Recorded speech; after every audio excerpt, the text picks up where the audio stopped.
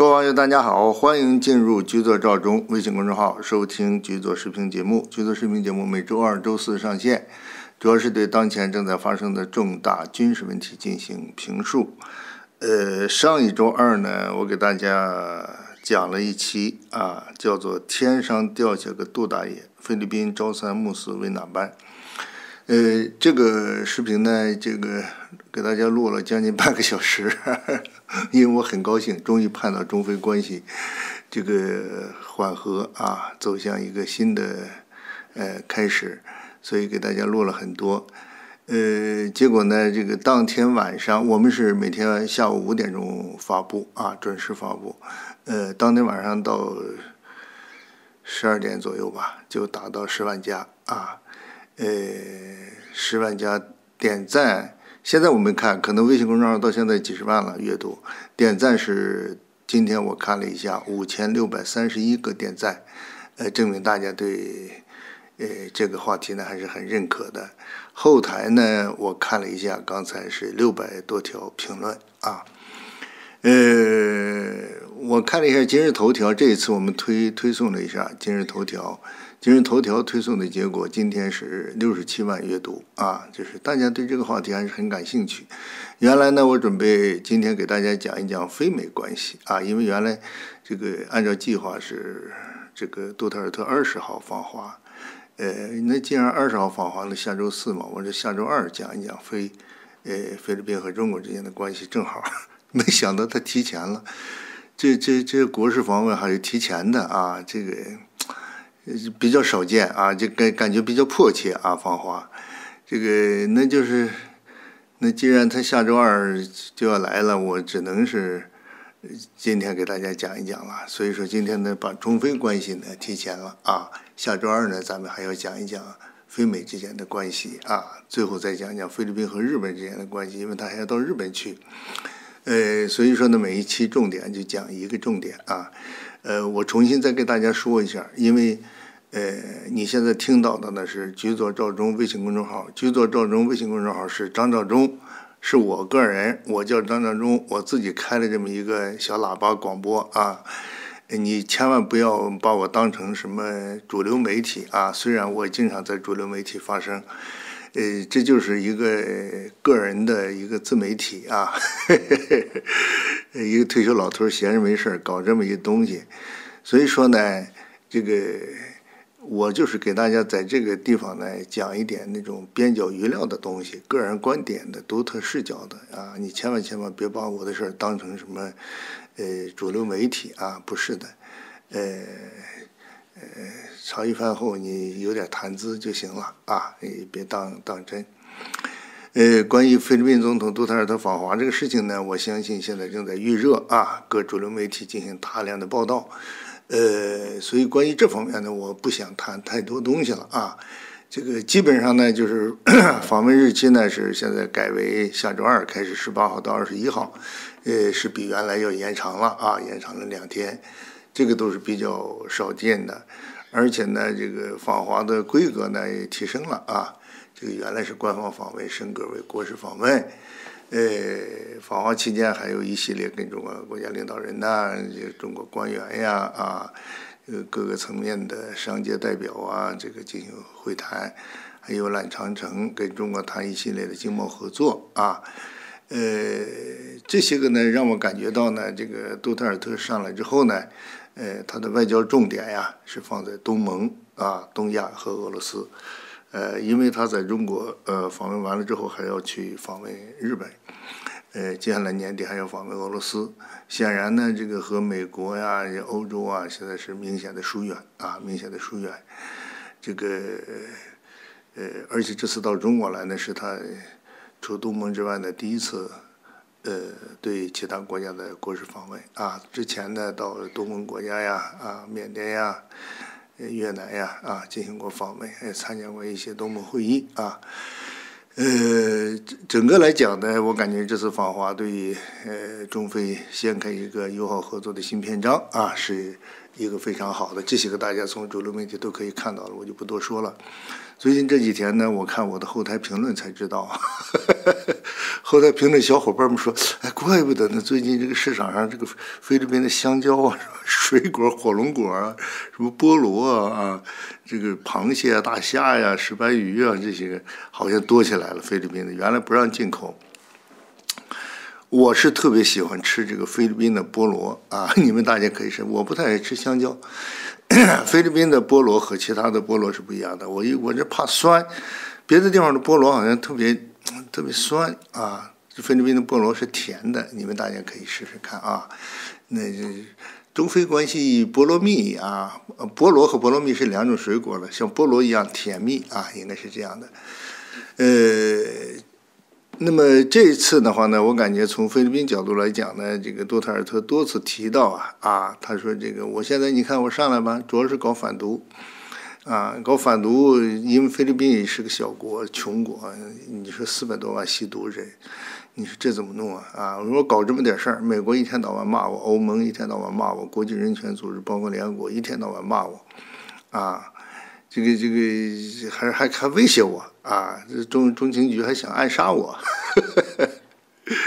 呃，你们算啥呀？这又开骂了。上一期我跟大家说了啊，骂这个奥巴马婊子养的啊，让人下地狱。最后又让欧盟又骂欧盟，欧盟欧盟说别下地狱了，地狱都满了，让奥巴马占了啊。那你先炼狱吧。现在又骂这个这个美国，美国你这这个这个就知道指责我啊，给什么援助了啊？没你，我们照样活。你别威胁我，王八蛋！太可爱了，这总统一天到晚骂美国，嗯，这个感谢中国，说是这个美国一点忙不帮，欧盟一点忙不帮，中国你看多好啊！中国帮着这个菲律宾建立戒毒中心啊，他要开放军营，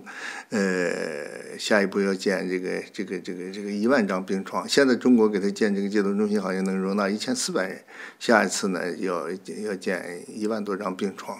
在军营里建啊，进行呃这个戒毒治疗啊。呃，现在正在热播的一个呃影片叫《湄公河行动》，这是中国和其他国家联合反毒啊。这也证明，呃，这个事情呢是中国和其他国家在呃，因为毒品嘛是人类的公敌嘛，任何一个国家都应该联合起来进行反毒啊。所以说呢，这个事情呢还是呃非常好的一个合作的基点啊。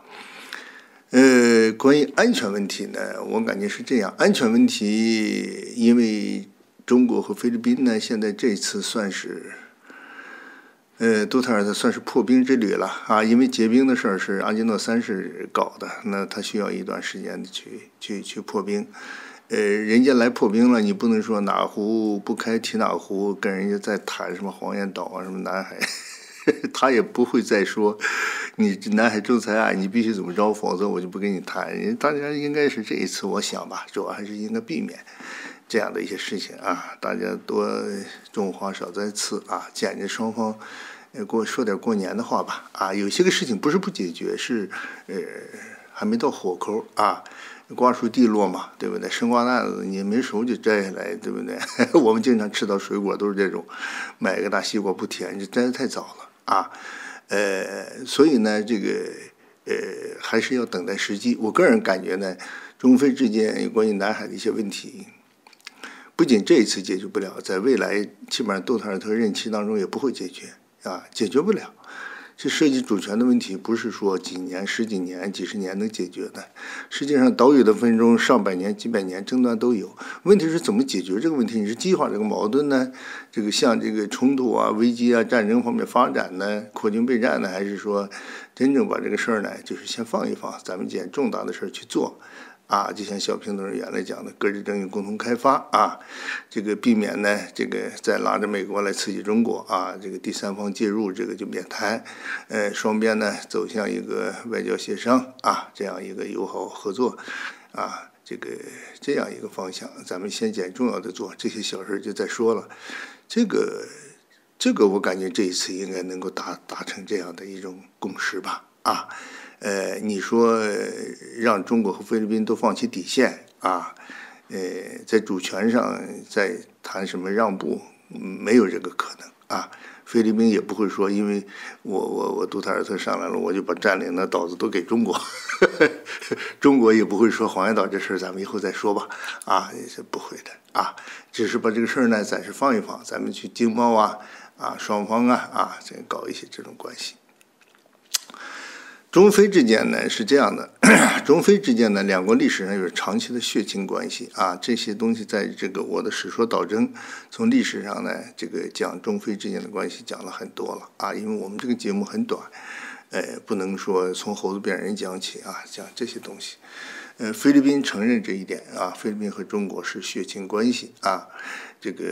是兄弟关系啊，这个说到底呢，还是一个打断骨头连着筋啊，因为双方太近了，一衣带水，隔海相望。呃，这个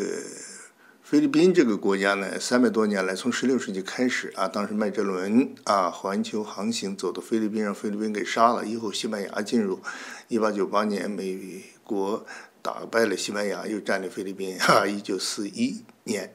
呃，日本又侵占菲律宾啊，当时就是，呃，马尼拉大屠杀造成上百万人死亡，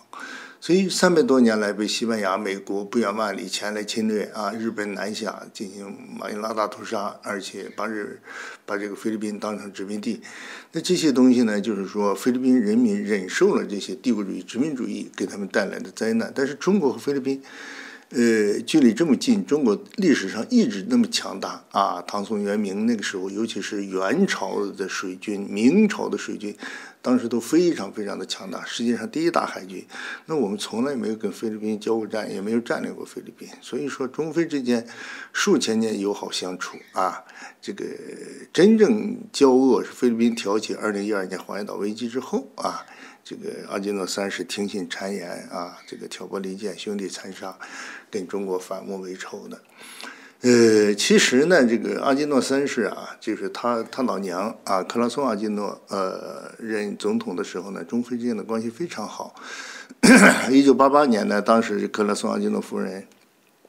到中国来访华，专门回到这个他祖上啊，这个这个呃祖上呢，他是这个。呃，在什么地方呢？在这个福建的漳州啊，角美镇红建村，呃，这个地方啊，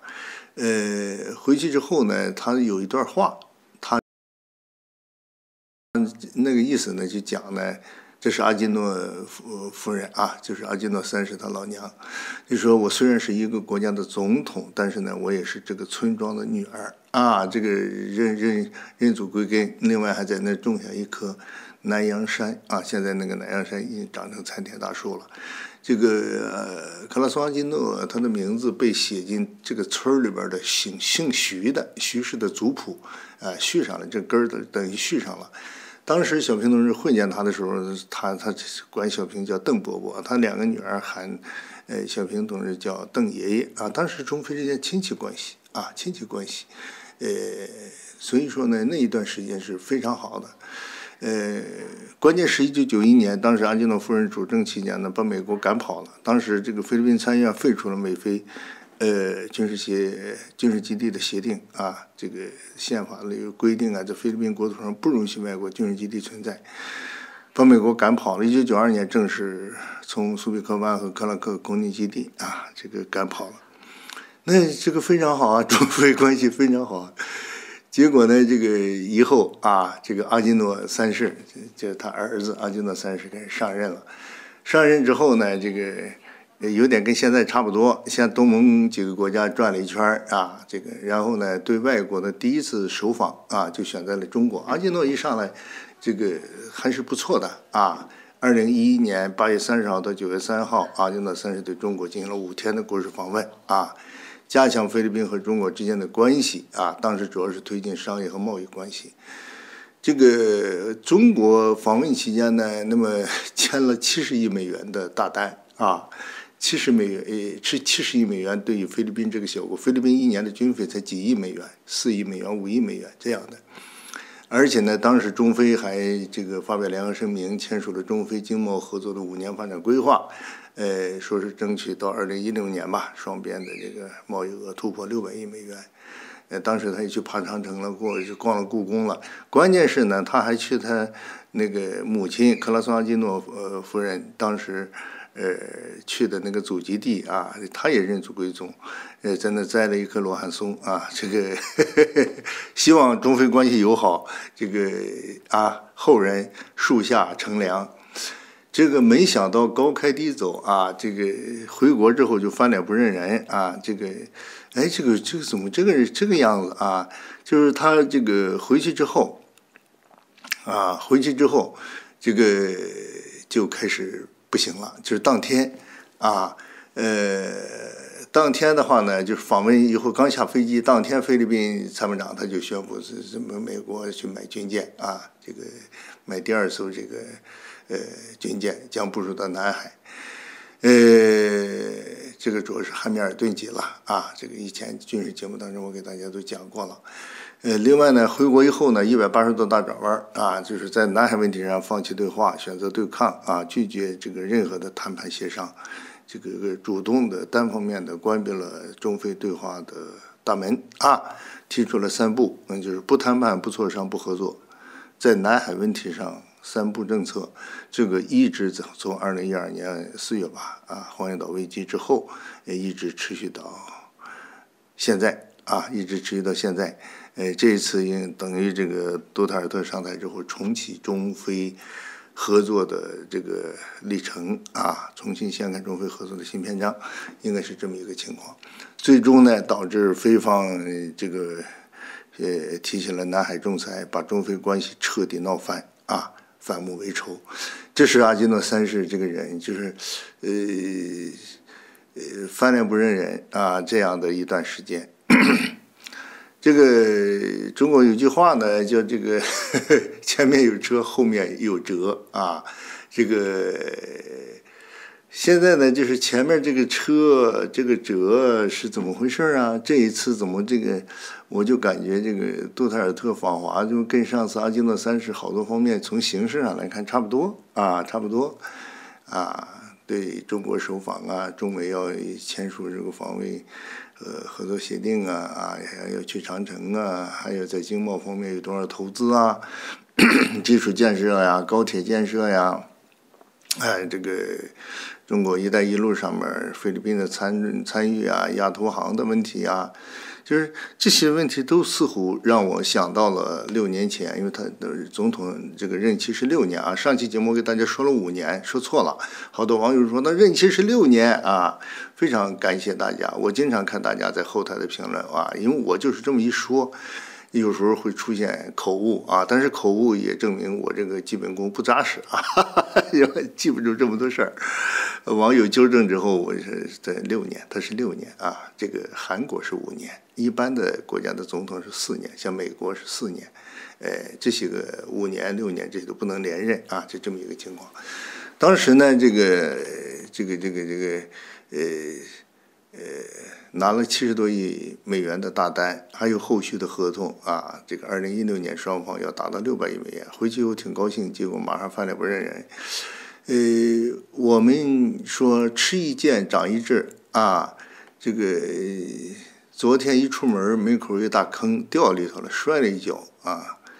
那今儿我就记住了，我的门口有个大坑啊，我出门的时候我得观察观察，小心小心啊，是不是？这个别再次掉坑里啊！这是，这是中国的这个这个这个古话，吃一堑长一智，我们防止老调老调重弹呀。你这阿基诺三世得了便宜还卖乖呀？这六年后又天上掉了个杜大爷，杜大爷天天骂美国、骂欧盟、骂潘基文，啊，就是到中国来了啊。呃，上台以后我就从来没见他。穿过西服，就见李克强的时候穿西服了。这次来到中国国事访问，我想应该西服领带都打上啊，正儿八经的，表示对中国的尊重。呃，也应该还是不错的吧。我想这次这个这个呃杜特尔特访华应该是成功的啊。呃，现在呢，关键是中非之间呢，这个过去几年呀，让这个阿基诺三世搞的是现在。伤害了中中非这样的感情啊！因为搞得好多事儿我们都不太相信了啊，不太相信了。呃，这几年他主要就是呃做了一些什么事儿呢？就是这个阿基诺三世出卖国家主权啊。这个其实菲律宾一九四六年建国以后啊，一直是强调国家的独立和尊严，但是一直摆脱不了美国。呃，真正是他母亲以后摆脱美国，一九九二年撤了之后呢，这个菲律宾有过这么十来年的好日子啊，自己独立了。但是以后呢，由于南海问题，结果又把美国给拉回来了。就是主要是一九九八年来访部队协定啊。这个来访部队协定呢，再加上以后二十二零一四年，这个菲律宾和美国又签署了一个增强防务合合作协定啊，这样的话呢，就让美国在菲律宾使用一共是八个基地啊，八个基地，嗯，所以这等于就是就是丧失了国家的独立和民族尊严嘛。原来这个阿基诺夫人当时呃，国会都是。立法禁止外国再在菲律宾开设基地，你怎么又修改 这个法律，然后又让美国来住呢？呃，这是一个点，还有一个点呢，就是阿基诺三世，呃，六年六次访问日本，这说明菲律宾和日本之间的关系会是非常好的。呃，菲律宾和日本之间的关系好呢，就是他最后一次访问呃日本的话呢，跟安倍商定啊啊，要签订一个来访部队协定，模仿美国。那就是说，菲律宾对日本也要开放他的军事基地。这个事情呢，呃，在杜特尔特访问中国之后呢，他还是马上这个月底吧就访问日本。嗯，我个人判断啊，前门巨狼，后门进虎。把美国推出去以后，日本乘虚而入，有可能杜特尔特在中国跟中国啊这个推杯换盏啊，这个欢天喜地，结果到月底以后到日本以后，同样再来一遍。更严重的是，有可能菲律宾和日本签署来访部队协定，就是允许日本在菲律宾驻军。啊，这个驻军就是呃来访问了，我给你提供方便，你在我这住着。但是呢，进行训练完了以后，在南海演习完了之后，你再回去，就这样，不是长期的军事基地啊。但这也太厉害了，这对中国也构成严重挑战。所以这个事情的话呢，我想他是能办成，有可能今年这个月底就这个事儿都能定了。要真那样的话呢，这个 美国和日本，日本对中国的威胁就更大啊，是不是啊？中美之间爆发真正战争的可能性很小，但是中日之间不一样，不一样，那有可能真的就打起来。所以菲律宾要是真这么弄的话，那那南海反而就更麻烦了，啊，所以说这个事情呢，这个也也也也得要注意菲律宾会不会来这一手啊。呃，阿基诺三世这些年呢。就是在这个扩军备战这方面呢，做了不少工作啊，整天就跟中国叫板，中国威胁论啊，这个抱紧美国大腿，让美国这给支持。这个他四年的军费啊啊，要比过去十五年都多，所以说军费每年增大约是四分之一啊，这个还要多。呃，菲律宾军费增多也就十亿八亿啊，也就这样。呃，就是这些年呢，就是菲律宾老希望跟美国好，美国给他钱，美国现在给的就是不到两亿美元，美国给以色列的每年是三十多亿美元，给日本每年四十多亿美元。当然这里头有驻军的事情，但是给给这个就不到两亿美元，不到两亿美元里头还有说美菲联合军事演习的一些钱，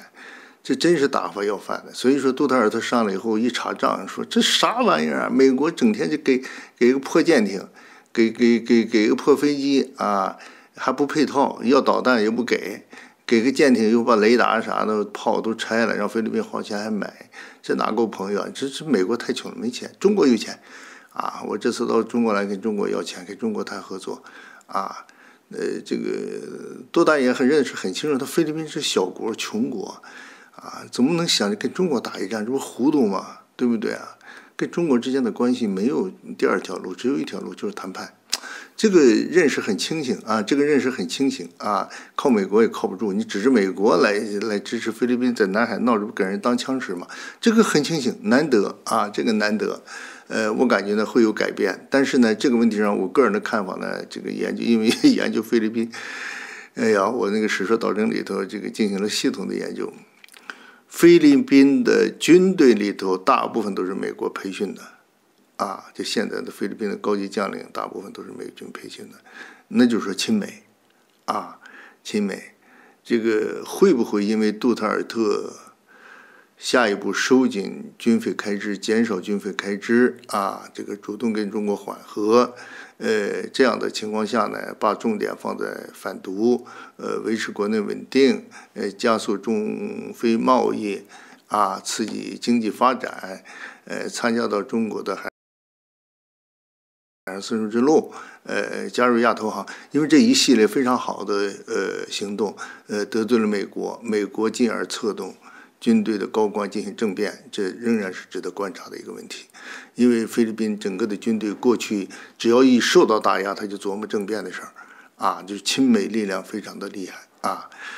呃，最后我谈一点自己的观点吧啊，这个本周的防务新观察啊，央视七七套，我也在谈这个题，大家也可以再看一看。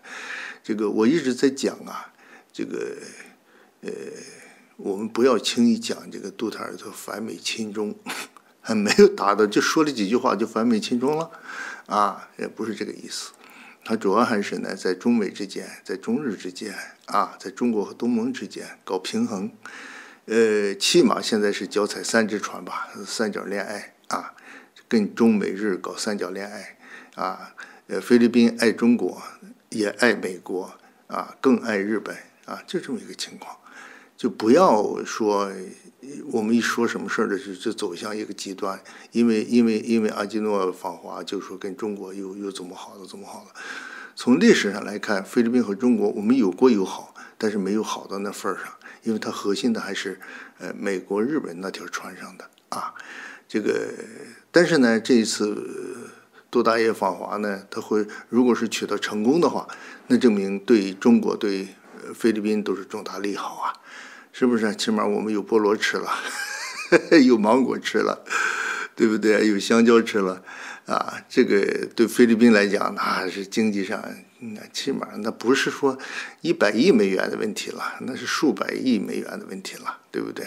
而且给中国扫清了很重要的道路，海上丝绸之路，我们通过福建泉州，这是我们的出发地，然后第一站就是路过菲律宾啊，将来会为我们扫清这个这个海上丝绸之路的重大障碍，这非常好。也也这这这个方面的话呢，就是说。对中非两国之间经贸啊，南海呀，啊，南海也大幅度降温，啊，对于我们开展南海这个啊这个基础设施的建设啊，呃也是非常好的。所以说这是利国利民的事情。所以这期节目呢，我就给大家呢就是交代一下这个基本的情况，中非之间基本的情况，呃，但是呢也让大家看到这个问题的两个方面，我们既要欢天喜地啊，也。要保持高度的警惕啊，呃，要有一些忧患意识啊，这个不要剃头挑子一头热啊，不要一头沉啊，还是要寻求平衡，好吧？我们静待杜大爷的访华，祝杜大爷访华圆满成功，祝中非之间的友谊万年长。好的，今天节目就是这些，我们下期节目再见。